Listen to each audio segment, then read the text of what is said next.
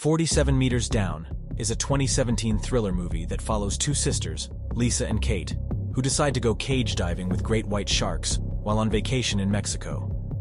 However, things go terribly wrong when the cable holding their cage snaps, and they plummet 47 meters down to the ocean floor.